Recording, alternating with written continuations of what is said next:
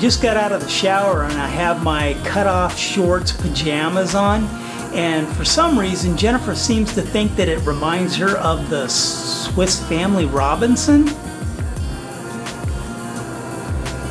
Sitting here at the table tonight after eating dinner, I had a vanilla shake and then all of a sudden my stomach just started seizing up like I was just had this major bloatation going on in my stomach and just really started cramping up and hurting bad. After dinner we came in and we were watching some videos over here on the computer and didn't really notice it much then but afterwards when I got up it was just way worse and I wasn't sure what was going on but it was really hurting bad. I got up and started walking around because I figured if I had to go to the bathroom or if I had some gas or something it would work it out but nothing. It just kept really hurting. So while Jennifer and Matt were watching shows here in the living room, I went in the bedroom and was just dying to the point where it felt like I just wanted to curl up in a fetal position, but that made it feel worse actually getting in that position. The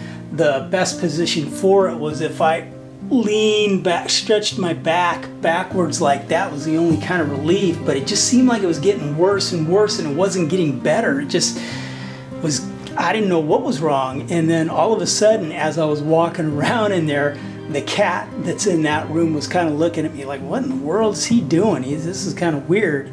So I'm making these noises and everything because it hurt so bad. But finally, I got to the point that I realized, you know what? I haven't even prayed about this.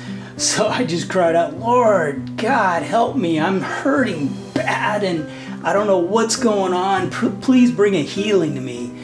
And so I just started walking around some more. And right after that, all of a sudden, I got this pretty big burp out and felt like I got a little bit of relief, but not totally, but enough to where I decided I was going to start brushing my teeth. And so I did that. And by the time I was done brushing my teeth, just a few minutes later, I felt back to normal. So praise God. Just got to remember, should pray first, not remember about it later. Thank you, Lord.